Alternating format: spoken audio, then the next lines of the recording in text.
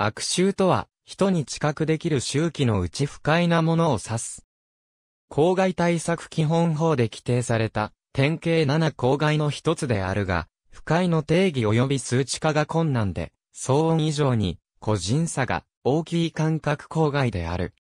このこともあり、法令による規制対象としての悪臭は、日常生活で言うのとは、幾分異なるものとなっている。人の嗅覚は、五感のうちでも特に鋭敏であり、本能的、原始的な感覚とされ、未解明の領域も多い。腐敗した有機物の発する物質を悪臭と感じるのは、進化の過程で刺繍による危険の察知や食物の状態を判断するため発達したものと考えられている。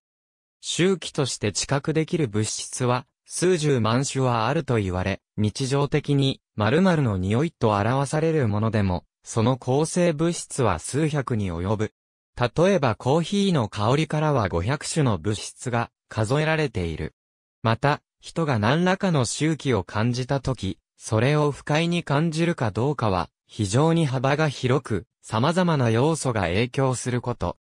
このため、悪臭を定性的、定量的に表すことは、非常に困難であり、評価から人間の主観を排することができない。この問題の解決手段として期待されている周期センサーの開発は五感を代替するセンサーの中では最も遅れている。これまでに半導体や白膜、細胞などを利用したものが考案され、製品も市販されているものの、人の嗅覚、特に鍵分けには追いついておらず、用途は限られている。焼肉店の排気ダクトの例。食欲をそそる匂いも、住宅密集地では悪臭となり得る。腐食性や毒性など有害性の懸念がない場合には、高所へ放出し希釈、拡散する方法も有効である。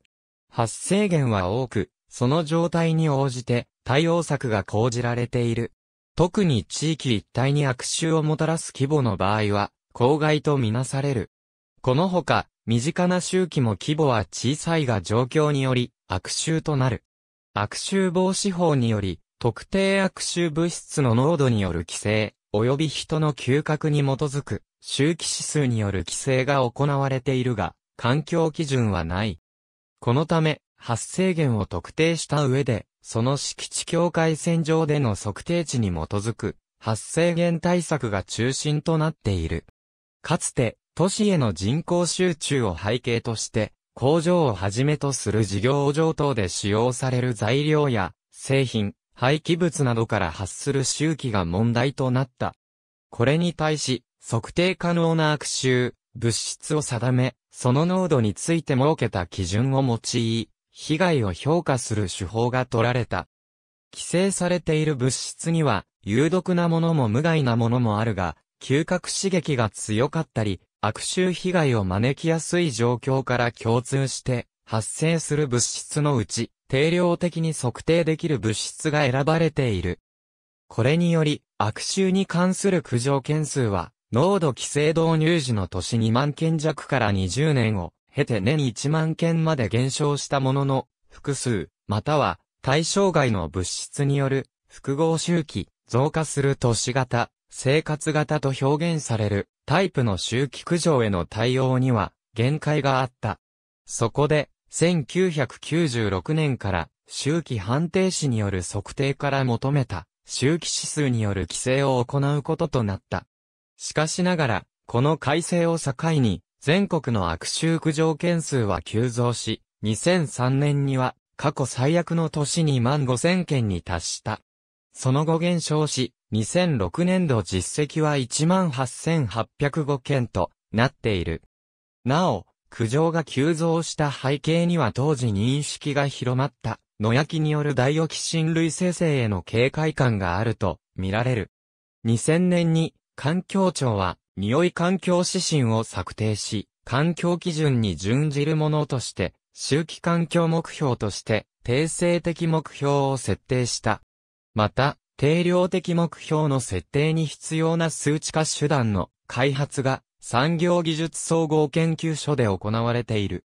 法令上は不快な匂いの原因となり、生活環境を損なう恐れのある物質とされているが、香料として食品添加物に利用されているものもある。法令では、人間の嗅覚でその周期を感知することができなくなるまで希釈した倍数から算出される。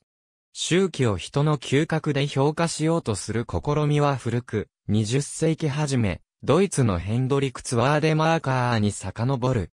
日本では1975年、東京都が開発、使用していた3点比較式集袋法が注目され、やがて全国展開された。概要は、嗅覚検査に合格したパネルに、3つの袋のうち、どれかに希釈した周期資料が入っているサンプルを渡し、どれに入っているか当ててもらう。パネルの正解率が3分の1まで低下した時点で、希釈により、周期が感じられなくなったとみなし、その希釈倍率を周期濃度とする。周期指数は、周期濃度の常用対数を10倍したもので、感覚的周期強度と同程度の数値となるようにしたもの。ありがとうございます。